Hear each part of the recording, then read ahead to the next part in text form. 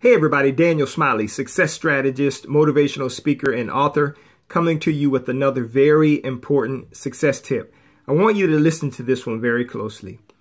Talk less and do more. What do I mean?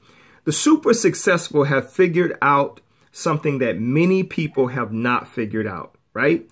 And that is they do more work and talk a lot less. Have you ever wondered why that is?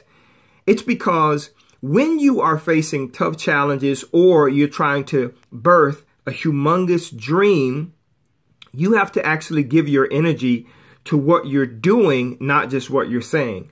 A lot of times, people who are not interested in seeing you become successful are waiting to hear your plans so that they can plot against it.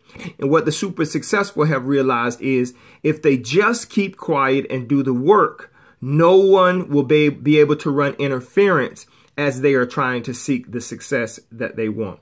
So practice that. Practice speaking less and doing more. Let your results speak for you and not your words. And success will not ever escape you. Make it an amazing day.